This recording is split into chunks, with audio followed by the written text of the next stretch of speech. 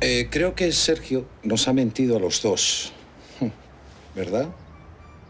Según me ha dicho hace un momento, le habías enviado tú para que rompiese lazos entre nuestras empresas. Ya veo que no. Verá, Marcelino, no quería molestarle con este asunto, que es una simple formalidad. Pero creí conveniente firmar cuanto antes la disolución del contrato de prestación de servicios. A día de hoy aún nos ligaba a esta empresa. Ya veo. Eh, Sergio, me parece que será mejor que te vayas. Bien. Tengo todos los papeles firmados. Les dejo que hablen de sus asuntos. Muy bien, ya hablaremos después en el despacho.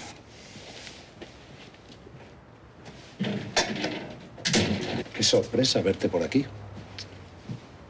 Ayer me dijiste que no querías volver a verme ni en pintura. He venido a pedirte que no vuelvas a acercarte a mi hija. ¿Y qué vas a hacer, Marcelino? ¿Sacar los puños? ¿Mm?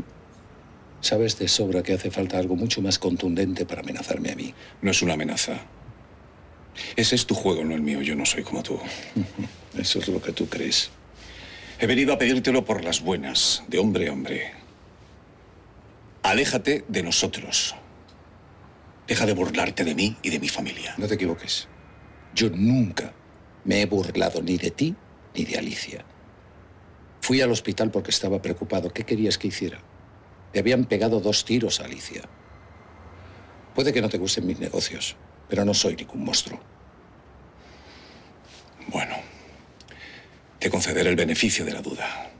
Pues demuéstrame que tienes un poco de humanidad.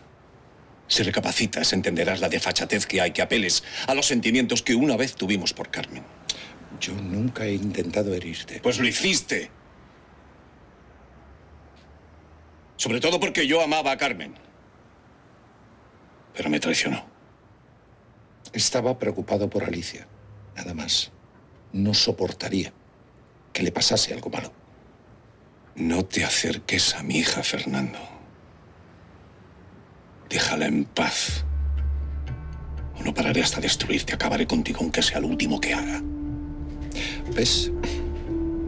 Al final tú y yo sí que nos parecemos. Has terminado amenazándome. No somos tan diferentes. Amigo.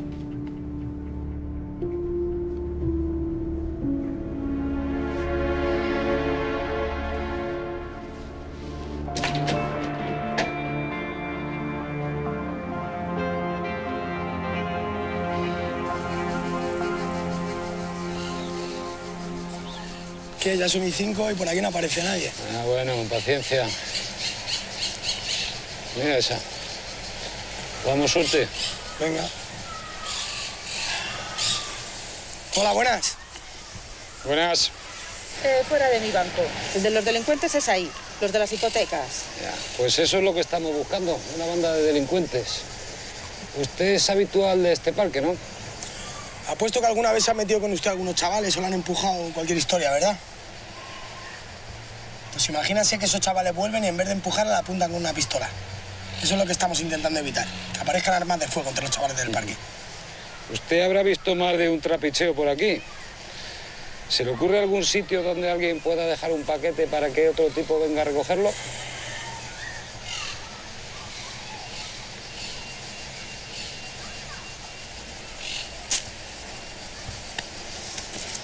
Mire, tenga para un café. Pero para un café, ¿eh? Gracias. Elías, mira. Mira, podrían ser ellos. Quieto, fiera, deja que se acerquen. Mierda, coño. ¡Hostia! ¡Alto! ¡Policía!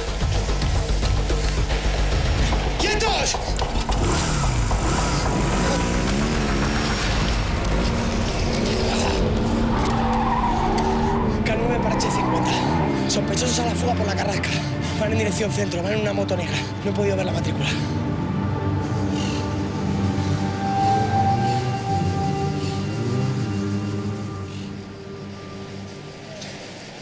¿Qué? ¿No los has pillado o qué?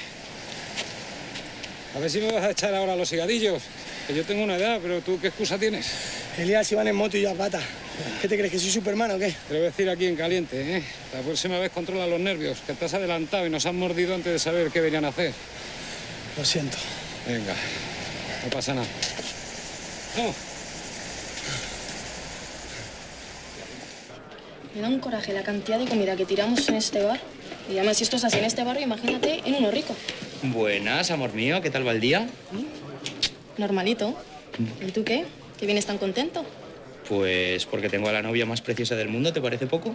Y yo el novio más bueno del mundo. Solo con venir a verme ya me has alegrado el día. Pues espero poder alegrarte la noche también. ¿En tu casa o en la mía? En la mía mejor. Además, hoy tengo que cerrar el bar. Y si tengo que pasar por mi casa para luego ir a la tuya, se me hacen las tantas. Tú mandas, mi reina, pero que sepas que a lo mejor se nos hacen las tantas también y no dormimos demasiado. Madre mía, estás desatado. Y si María te oye, luego soy yo la que tengo que aguantar sus bromitas. ¿Quieres tomar algo? Un cortado, por favor. Parece que María cada vez confía más en ti, ¿no? ¿Tú crees?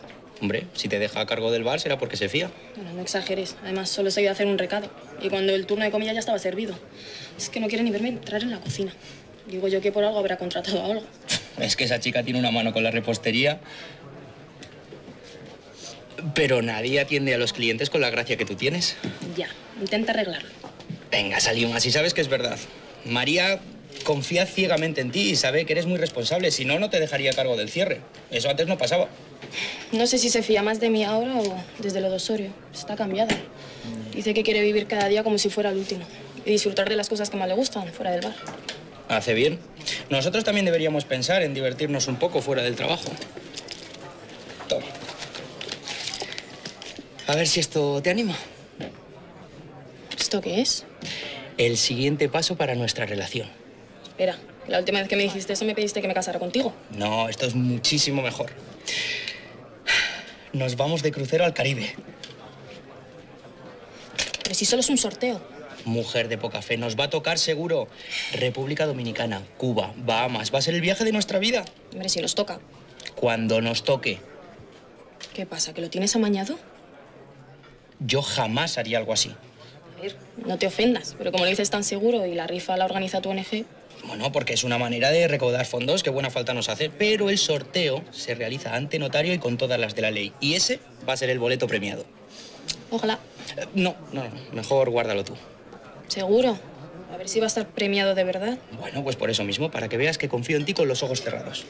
Bueno, no me entretengas más con tus sueños caribeños. Que como María venga y se encuentre todo esto mangas por hombros, capaz de mandarme a paseo. Y no a Cuba, precisamente. Bueno, pues vengo a buscarte a la hora del cierre, ¿vale?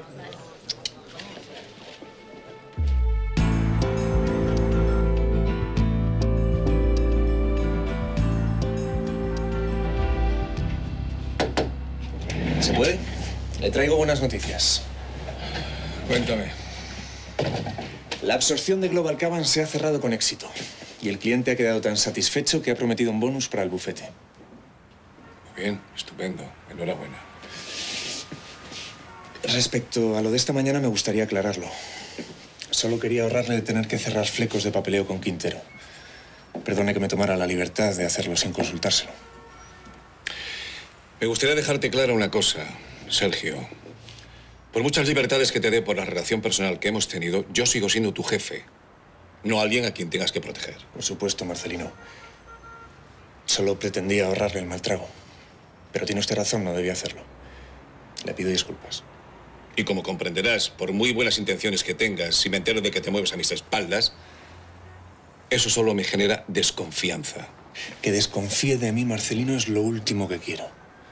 Le prometo que no volverá a suceder nada parecido. Tiene mi palabra. Bueno, bueno, está bien. Todo aclarado. En todo caso, darte las gracias por preocuparte por mí.